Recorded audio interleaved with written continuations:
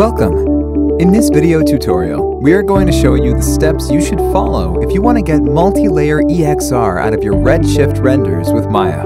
In this example, we are using Maya 2020 and Redshift 3.0.45, but the same process should be applicable to other versions too. First, after finishing all touches on your scene, open the Render settings. Under the Common tab, you need to set a file name and choose Open EXR as a format.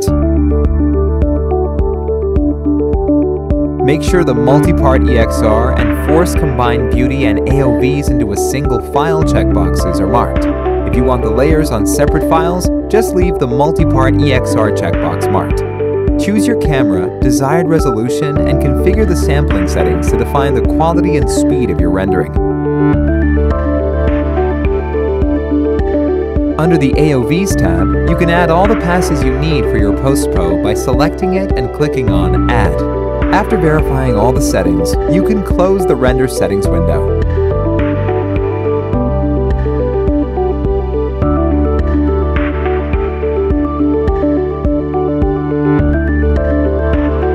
Now you can start the Rebus Farminizer. Can mark the Activate Auto Start so we do not need to hit the play button in the control center later. And then click on Render Now. If no errors are detected, you are ready to submit your scene to the farm.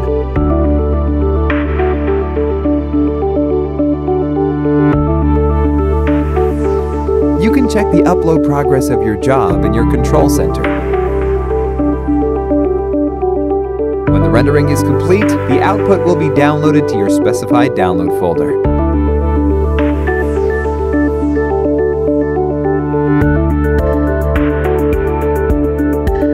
Thanks for watching. If you found this video helpful, please consider giving us a thumbs up. If you have any questions, please let us know in the comment section. Here are also some other videos that might interest you. To keep up to date with our channel, don't forget to subscribe.